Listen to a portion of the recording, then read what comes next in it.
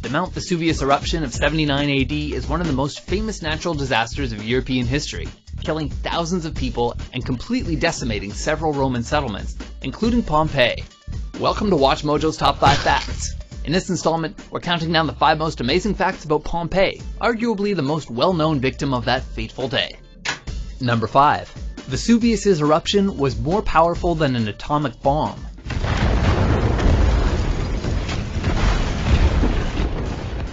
Power of Vesuvius's eruption is almost impossible to imagine. Around 1 p.m., the mountain exploded and the entire cone was blown off, releasing a massive cloud of gas, ash, and stone into the air and turning the city dark as the debris blocked out the sun. Little Boy, the bomb that was dropped on Hiroshima in August 1945, is said to have been so powerful that it left human-shaped imprints in the pavement. The bomb released energy equivalent to roughly 15 kilotons of TNT, which decimated the city within seconds.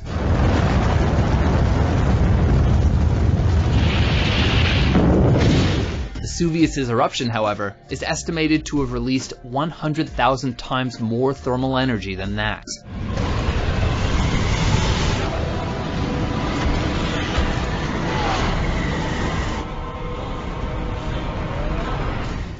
Number 4.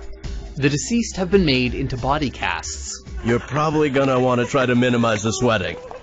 Yeah, just think cool thoughts. In a fascinating feat of archaeology, these body casts have preserved some of the victims' final moments before death.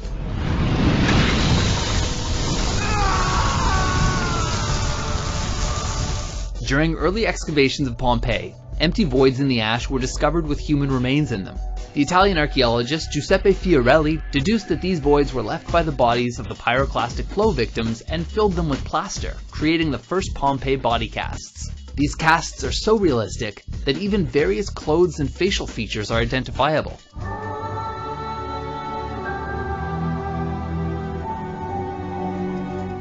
Some of the more disturbing displays include an individual in a praying position and a child resting on their mother's lap, with a look of content frozen on their faces. Number 3.